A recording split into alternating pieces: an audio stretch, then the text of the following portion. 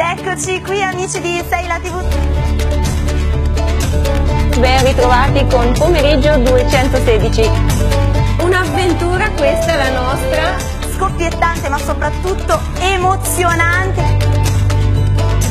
L'arte in tutte le sue sfaccettature, l'arte in cucina, l'arte nella musica, l'arte nella danza che poi sono anche tanti amici perché coloro che sono passati e si sono susseguiti nel nostro salotto quest'anno sono diventati eh, davvero delle persone fondamentali non solo qui a Sei la TV ma per noi stesse perché ognuno di loro ci ha regalato qualcosa.